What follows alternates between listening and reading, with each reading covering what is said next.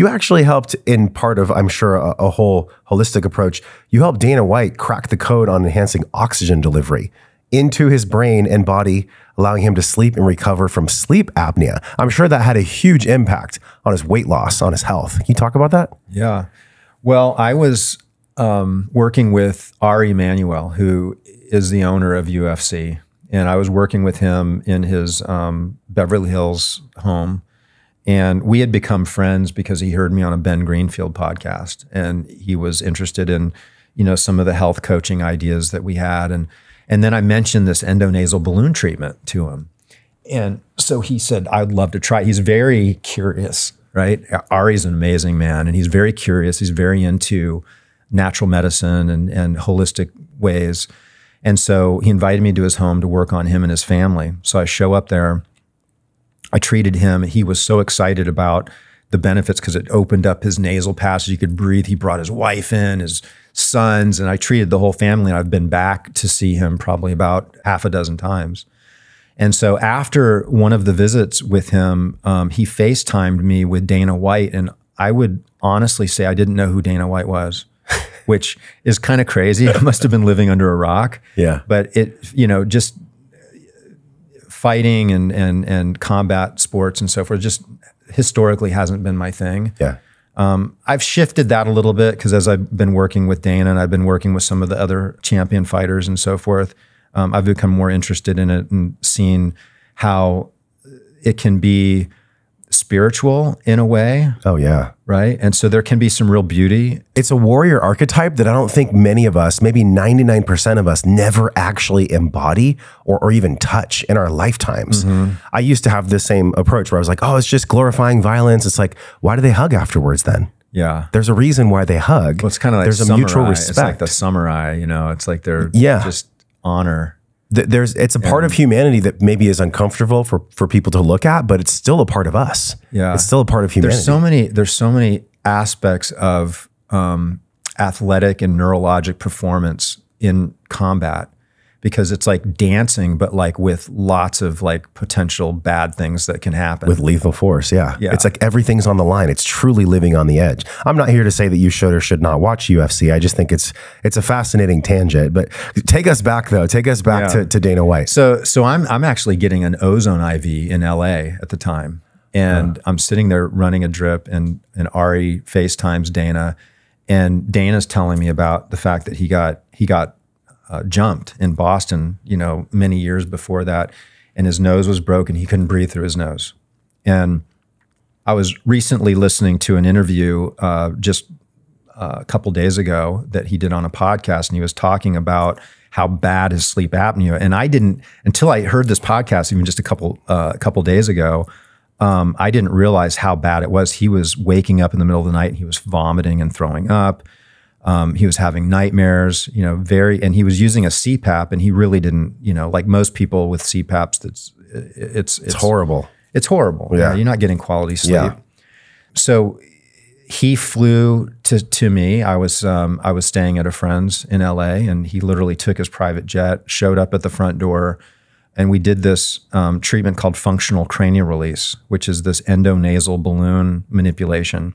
And it literally is an expansive pressure that opens up the nasal passage and the and the the the, the sinuses. But more than that, it restores this movement pattern called cranial rhythm. So we all have and enjoy this flexibility to our cranium. And it's not just bones. It's because it is, the cranium is made up of a bunch of separate bones, and they, the bones come together in unique ways to facilitate this mo- motion called cranial rhythm. Um, but there's a connective tissue layer just inside of the bones, and the name of that t- connective tissue layer is called the dura mater. Guess what that means in Latin? Tough mother. Because it's got 2,000 pounds per square inch of tensile strength. It's very, very durable. And it's protecting, it's the mother because it's protecting Ooh. the central nervous system. Yeah, yeah. And so just like some mothers can be overly protective with their children. And what happens when mothers are overly protective? The kid doesn't get to explore their environment, yeah. doesn't learn, right? There's not as much expansion. Right. Yeah. And so the same thing happens with the neurological system is that when you have this bound connective tissue, which most everybody has some level of restriction to this dura, right? To the to the connective tissue that's behind the face. Um, it's it's it's surrounding all of the aspects of the of the brain and spinal cord, and we get adhesions to this, and it disrupts the flexibility, but it also causes the skull to um, be contracted and pulled into like a collapsed position. And the maxillary bones are basically under the eyes, and they make up the cheekbones and these maxillary bones fall down and the roof of the mouth raises up, crowding out the space in the nasal passage. And so then the palate becomes crowded and the teeth become crowded. So 100 years ago, nobody had to have their wisdom teeth removed. It's not until industrial culture with, you know, refined foods, um, cooked meat, homogenized milk, all of these things. Weston Price was the yeah. who's considered the father of the raw food movement, he's the one that discovered this. He traveled all around the world and he was able to show that the people that that were aborigines had these maintain these wide dental arches, wide skulls. Their breathing was full, right? They could breathe uh, robustly through their nasal passage and they didn't get a lot of cavities. Um, they didn't suffer from a lot of the diseases associated with um, with you know diabetes and degenerative neurologic disease and cancer and all of these things weren't happening with these aborigines where they were with people that were living in and eating the foods and and the stressors of modern civilization so if you appreciate that then you would almost have to say that almost all of us have some degree of a collapse of our cranial structure and that relaxing that can be of benefit to their health and vitality. Besides that, I've found that if you're a meditator, you know, and if you're into spirituality, because this cranial rhythm is also working on those pressures, and we talked about Joe Dispenza, those pressures activating those um, those little cells in the in the ventricles that produce cerebral spinal fluid, causing that piezoelectric effect um, to the pineal that after these cranial adjustments, you have an improvement of those systems as well.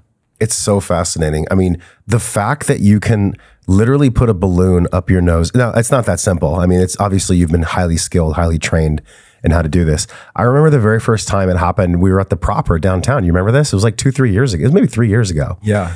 And Luke was like, Hey, do you want to try this treatment from John? Yeah. And I was watching people get the treatment and like their feet would kick out and their hands would kick out. There's yeah. a there's an example of, of this on the screen right now. Uh-huh. Um, and it was so it was so uncomfortable, but I was like, you know what? I'm just gonna trust. I have never had such a weird but also amazing feeling in my entire life. Mm-hmm. As you know, I've struggled with sinus issues for like 20 plus years. So for for me, it felt like there were actually bones popping, mm-hmm. and I don't know if that was cartilage or the or the dura mater, like you're talking about. Dura. Yeah, release uh, of the dura can cause. It's like a, a, popping, like you're getting your neck adjustment. It's like so amazing. It's so good. Yeah, and, and so now now I feel like because you've put out so much media on this, and because people know you and your functional cranial release techniques now you have other UFC fighters mm-hmm. and even uh, this major musician Diplo, mm-hmm. who you did a treatment on as well. Garrett McNamara, you're yeah. going to be in the the actual hundred foot wave documentary. Is that why you're flying out there, or was already recorded with with some of the work you did with Garrett? HBO recorded a couple of things. One is they recorded when I was out on the North Shore last Christmas. Um, doing balloon, I did balloons on CJ Macias and Garrett, basically the whole family, and Nicole McNamara. And uh, so that was all recorded. We don't really know what's going to make it into the series and what's not. Yeah. We feel like this has got a high potential that I will. think so. It's yeah. so novel and people don't know about it. It's so it's so incredible. Check out some of the videos on this screen that are perfectly curated based on the video you just saw. Make sure you follow me and I'll see you in the next video.